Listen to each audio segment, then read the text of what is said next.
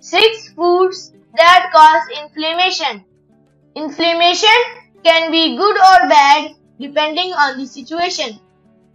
On one hand, it's your body's natural way of protecting itself when you're injured or sick. It can help your body defend itself from illness and stimulate healing. On the other hand, chronic sustained inflammation is linked to an increased risk of diseases like diabetes, heart disease, and obesity. Interestingly, the foods you eat can significantly affect inflammation in your body. Here are 6 foods that can cause inflammation. Number 1. Sugar and high fructose corn syrup. Consuming a diet high in sugar and high fructose corn syrup drives inflammation that can lead to disease. It may also counteract the anti-inflammatory effects of omega-3 fatty acids. Number 2. Artificial trans fats.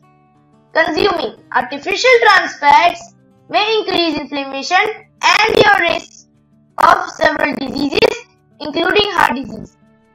Number 3. Vegetable and seed oil.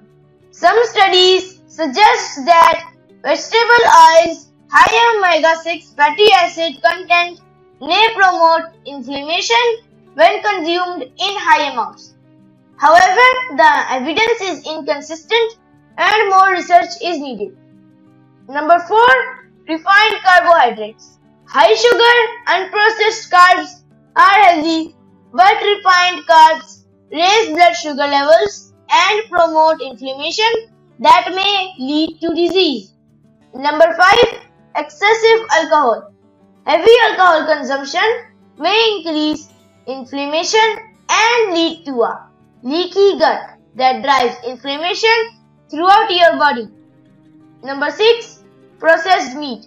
Processed meat is high in inflammatory compounds like AGEs and its strong association with colon cancer may partially be due to an inflammatory response.